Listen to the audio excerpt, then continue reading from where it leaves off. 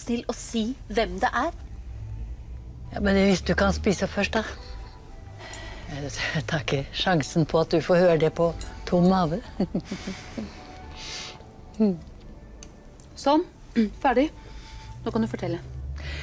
Ja, det viser seg altså at Georg eh, hadde et lite sidesprang som resulterte i graviditet.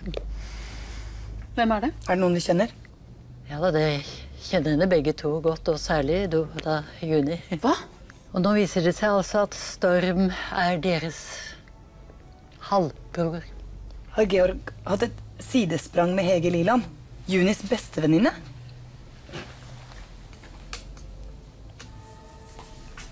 Er den lille, stygge, ufordragelige ungen til Hege Er, er det min stebror? Halvbror, Juni. Du vet, han lyver.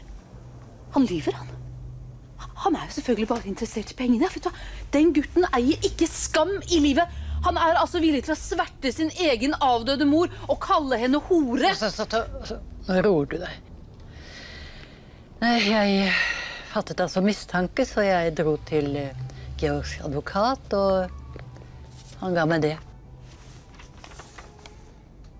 Og der står det altså sort på hvitt at Storm er sønn av Georg.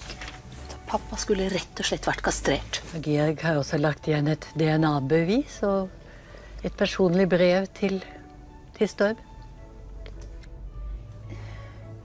Hvorfor har vi ikke fått vite dette her før?